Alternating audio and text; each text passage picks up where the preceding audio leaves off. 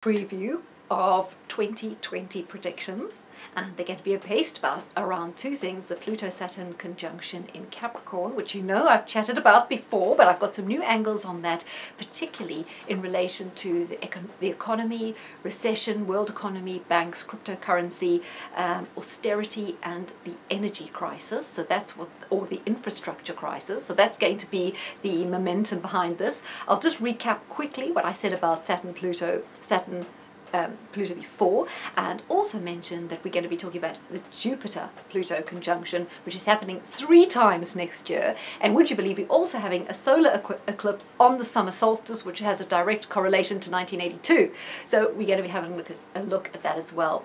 So guys as you know thing, how things are with YouTube I'm not sure how long we'll be able to talk about these sort of subjects with total freedom.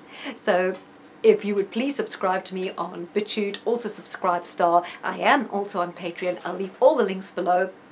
Then that'll be fantastic. Of course, I greatly appreciate if you give me a thumbs up if you liked it, leave a comment, or subscribe, hitting the bell, and then you at least know when I upload a new video, which, as you know, tends to be kind of sporadic with me because I respond to whatever's going on and, uh, well, when the inspiration takes me. So, if you go back to my uh, world predictions for 2019-2020 when I talked in depth about the Saturn-Pluto conjunction was particularly in part two, the second video.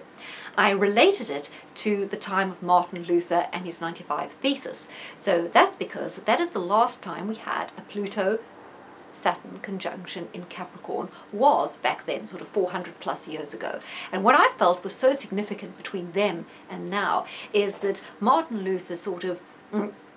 He helped break down the power that the Roman Catholic Church and the Holy Roman Empire had over Europe. And after that, uh, there was a lot more self-determination. Um, people took back power in their own communities, in their own localities. And I see that as being very similar to now in terms of what's happening with the European Union, is people now are much more informed about it. They can see through it. They can see it for what it is. And they're beginning to rebel and wanting to draw power away instead of ceding all this power into this behemoth that is just authoritarian and totalitarian.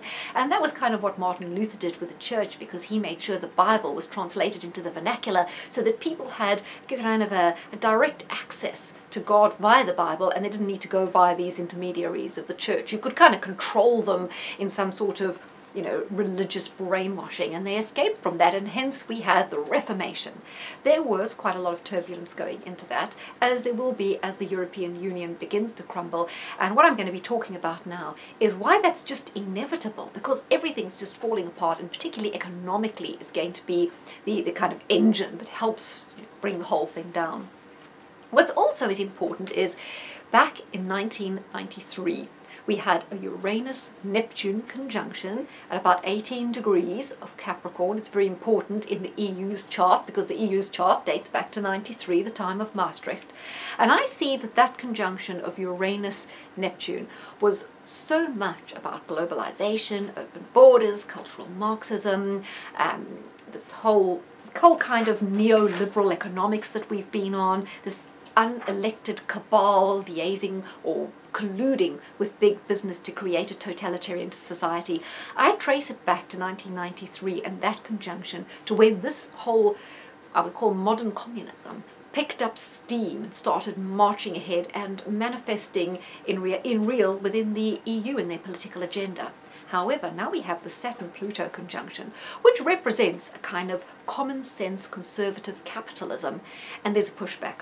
I think what the elites forgot is Newton's law. For every action, there must be an equal and opposite reaction. So while they've been shoving all their kind of neoliberal, socially liberal, cultural Marxist garbage down our throats, they never realized that at some point it was going to spin around and come back. With Brexit and Trump, we already saw that happening.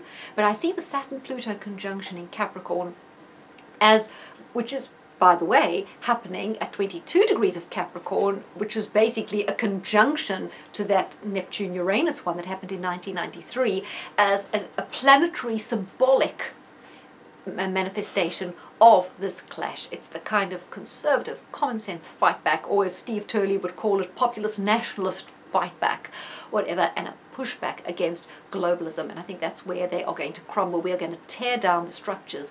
But we won't do that alone. Their own incompetence will lead to the falling of the structures that have maintained them. And one of them is the financial structure. So that's why a lot of uh, what we will be talking about is now economic, but it's like not boring stuff, so don't worry about that. I thought I might start with a little analogy, and I must thank Morgoth's review, which is an excellent vlog for this, this idea because he mentioned it, and I wanted just to take it a little bit further.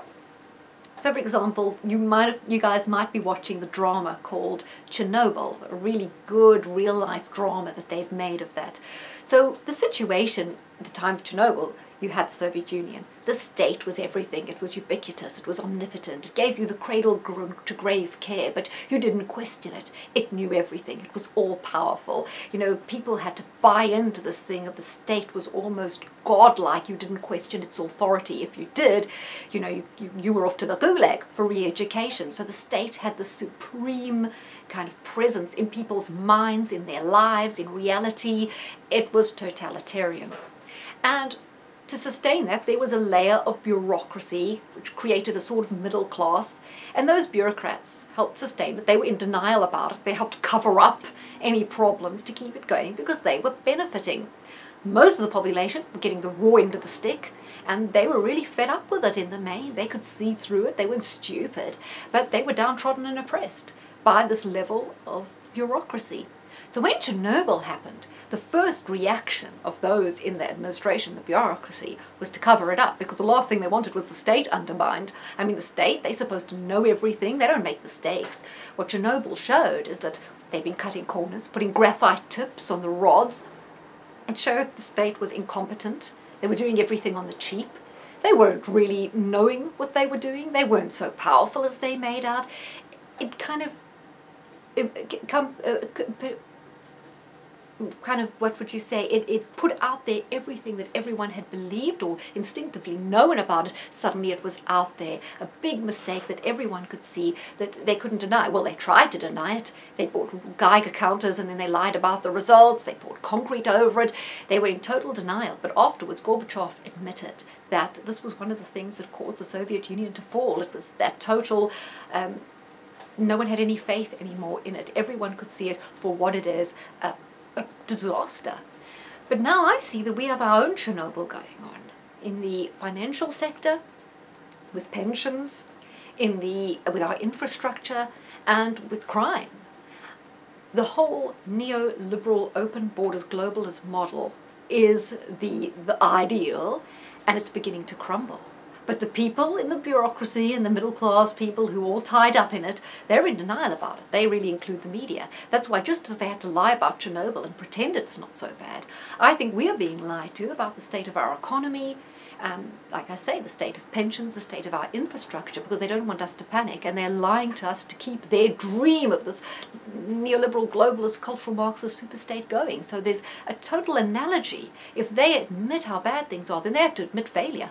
They have to admit that they, they were wrong, that their plan actually doesn't work, and they're not quite ready to admit it yet, but the information is beginning to seep through. I think back to the financial crash in 20, 2008. I don't think it was the case that no one saw it coming, or very few saw it coming and didn't predict it. I think they, most of them absolutely knew that it was coming, but they were just trying to sort themselves out, making us think it was all fine, so we didn't panic. They wanted to get make sure they were okay before kind of hit the fan and everyone started to know about it. And I think this is what's going to be done again. Now, the thing about Saturn Pluto is, say, let's compare the economy to an old man. He's been drinking, he's been smoking, he's been eating donuts and burgers and totally not looking after his health and he's been dealing with it by taking, you know, antibiotics and painkillers and antacid. He's been papering over the cracks. But now he's reached the point where he's got to go cold turkey on everything. He's got to get really healthy because he can't stave it off anymore. And that is the point that we are going to reach in the world economy, particularly in Europe and with the EU and the way the setup is here in 2020. No more excuses, no more magic money tree, no more quantitative easing. A dramatic restructuring is going to be needed, and there's no two ways about it. So, people who say the end of austerity, I think we've probably only just begun the austerity is I don't think there's a Mugabe money printing way that they can get out of this. And I think one of the things they're going to allow is remember too big to fail with the banks. I think they are now going to allow a few banks to fail. One of them is Deutsche Bank. Deutsche Bank were already talking two weeks ago about moving all their dodgy assets to a bad bank in order to contain them. Uh, I find that a crazy strategy. How can you just make something like that go away by just moving it to the side? It's not like you have some rubbish in your kitchen bin. It doesn't smell very nice. You put it outside and then the bin men take it away and you don't have to think about it again. It's not quite the same, is it? But I think one of the key pivotal points will be the Spanish economy and a Spanish bank going going to the wall. The other thing is with Italy talking about having a two-tier um, uh, currency. I think that'll totally undermine the EU and help bring uh, the, the euro and help bring that down. That's why I did a little broadcast on crypto because with Uranus in Taurus, Uranus being technology change, Taurus being money, I see cryptocurrency really taking off, partly because the euro will become a currency no one can, one can rely on, and if other if the European countries start going back to their own currencies, things could be extremely volatile in the currency market. Plus, I think we're possibly reaching the end of the, um, the petrodollar arrangement. That could mean currencies are going up and down, and people go to Bitcoin almost like a safe haven. That's why I think cryptocurrency is definitely going to grow, despite what a lot of people are saying because of the turbulence that will be coming in all the financial markets. So, the key is with Saturn Pluto is the game's up, guys. The game's up. No more pretense, no more trying to cover things up, no more supporting bad banks and bad practices. There's going to be have, have to be a shake-up of the whole system and we'll see that starting next year. And of course the ramifications will be wide, but I definitely think it, it, it's, it's crazy to say that you know that a magic money tree and they can make it all go away. I talked about the solar eclipse happening on the summer solstice. That happened in 1982. There was also a Saturn-Pluto conjunction in 1982, not in Capricorn, in Libra, and a deep recession hit around that time. Although with uh, Reagan-Thatcher economics, they kind of got their way out of it. But this time, I think the recession will be deep, like it was in 1982, but much, much more sustained. But especially in Europe, um, possibly America might squeak out a little light on it, possibly because the way Trump is handling the, econ the economy there with less regulation. I think in Europe, everything's become far too bureaucratic, especially in France, and the bureaucracy doesn't make money. A free enterprise society creates productivity, creates welfare, creates, creates wealth. Um, all this bureaucracy, all everything becoming more and more administrative and the government becoming bigger and bigger and involved in more and more, all it does is decrease productivity and doesn't create wealth. And they're going to have to deal with that problem. But thanks to Paul Keen, who sent me a very interesting video where they talked about this magic money tree. In the short term, if they are printing money, I think that ties in to another theme I'm, I'm seeing, and that is the, sidelining of the elderly. Now, Saturn Pluto represents the elderly, Uranus Neptune represents the youth, and I think we're going to see a clash of the ages. You already see this with Brexit, with the young people sort of, oh, they've stolen our future. All these old codger little Englanders, senile old people who are over 60 and don't know what they're talking about, they've stolen, you know, all these pejoratives towards the elderly. Even on Sky News, when they were talking about the TV license, um, the, the lady was saying, oh, why do the elderly are not a special group? They do not need free TV licenses. They need to prove they need some. Why do people who've paid taxes all their life have to prove they need one? I think it goes without saying that people elderly are more likely to have health issues, possibly be disabled or housebound or, or lonely. And but this woman doesn't regard any of those. As, as far as she's concerned, it's not a protected group. And you can guarantee, you've already guessed she's a leftist. She was probably from The Guardian perfect attitude of the left towards the elderly. I need not mention Polly Toynbee saying, oh, well, so many Brexiteers have now died if we have another referendum, you know, cheering on the deaths of people so she can get her political way. It's disgusting, but it says a lot about the way they are thinking. And I think with uh, a lot of, if they do start printing money in the short term, what that's doing is creating inflation so that only if you have a job that's keeping up with inflation or if you're on benefits and welfare and the government keep giving you money, you can keep abreast of it. But for the elderly who are on fixed pensions and whose shares might not be doing well even if they have some assets, it's eroding their wealth and it almost is creating a redistribution because if they're having to sell their homes in order to fund you know the rest of their retirement what does that mean? It means a lot more properties come in the market and they can redress this balance that the young people are, are complaining about. So I do see this is all a clash of the old and the young and, and the government can manipulate that actually from the top even without direct kind of redistribution just by by policies like that Okay, so I already talked about the, the boost to Bitcoin. One um, problem with Bitcoin, I mentioned on my Bitcoin video that uh, Bitcoin is permissionless, it's non-confiscatable. However, there are gatekeepers like Coinbase because you usually have to belong to a, a platform like Coinbase or eToro, many others, in order to buy your Bitcoin. And I know Milo was saying that he was not able to join Coinbase. They kept saying, oh, sorry, your, your email email doesn't work or that, that's not the correct email. Whereas he was pretty sure that he's on some sort of list and is being denied access. But I do see ways emerging around that where for a high commission people are exchanging Bitcoin on PayPal and, and other forums. So there is a way around this. But somehow the problem with Bitcoin, although it is kind of non-confiscatable, it's permissionless, it's decentralized, until they find far more ways of people getting access to it, there are still gatekeepers who can creep in and manipulate the system to make it uh, you know, less ethical, for the elites to kind of put a spoke in the wheels. The other thing I was going to want to talk about, so yes, banks extremely dodgy, economies in lots of trouble, and because of the economic pressure, that is going to be ultimately, ultimately what brings down the EU project. A little bit of an aside, last time there was a Jupiter-Pluto conjunction in Capricorn, there was a plague, the bubonic plague broke out in St. Petersburg and also Moscow, A very big thing in Russia. And you know when I did my yearly predictions at the beginning of the year, I talked about China and thinking a possible plague breaking out there. Now, of course, China, but like Chernobyl, they'll probably keep that information suppressed. They wouldn't want to get that out, so we wouldn't necessarily know about it until it reached kind of a critical mass that they couldn't deny. But it's also worth thinking about in Africa at the moment, they are having an the biggest Ebola outbreak since the one that they had in 2014, and yet no one's talking about it. It was constantly in the news in 2014, now it doesn't make the news at all. So we have Ebola in Africa, possibly something happening in China, and this chart linked to the bubonic plague outbreak. So I'm wondering next year if there is going to be some sort of mass health scare. Um, so guys, just get your colloidal silver, get your vitamin D in and uh, keep up your immune system because ultimately that's the best way to reduce those things. So I'd say definitely high doses, 5,000 of vitamin D3, uh, natural vitamin D3 if you can, um, every day. And definitely colloidal silver as a topical throat spray. It's, it's a good way. Well, uh, that, that's kind of the direction on a totally different topic, of course, that I might go in. in.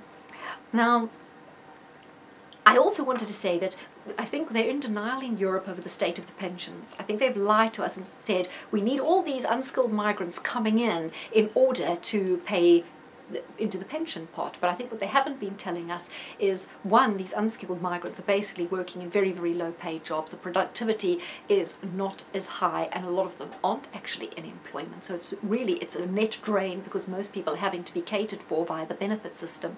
I note that Leo Varadkar was saying that he, he thinks it would be ideal to increase the population of Waterford by three or I think it was even by four, but it was definitely by a large number, like three or four. And I thought, well, where, what jobs are those people going to be doing? Because it seems to say in isolation, odd if you say in isolation, oh, how great it is to increase a population of a town. If there's no jobs, that seems an odd thing to say. If there are so many jobs in Waterford, then, you, then naturally people would flock there to live, wouldn't they? So it seems that they are hell-bent on increasing population, but at the same time not increasing jobs, and as you know, they're not increasing services. Just last week they were reporting on Sky that three GP surgeries in the UK close down every week. That is an incredible statistic, bearing in mind the population increase. And they keep telling us how our population will grow and how great it is, but they're not even dealing with things like GPs. So I think we're reaching a crisis in pensions where the big earners, like if we look back to 1982, because that was a time, it was the time of the baby boomers, right? They were incredibly productive group of people that started businesses that created wealth and they were coming into their prime round about that time which was why they sort of avoided such a deep recession. But now we don't have that group. We have a lot of elderly people and the new batch of people coming through immigrating are people who are generally very low skilled and who are not potentially even finding work. So that's the Chernobyl we're at now. Is it's a lie that this mass immigration is working and contributing to pensions. There's a lie that the state and the welfare state in all these European countries is going to be able to survive. It's at breaking point. It's creaking. I think it's probably a lot worse than we think. It's not going to be able to survive, and that's also a reality that they're going to face. The final thing I wanted to talk about was the energy crisis.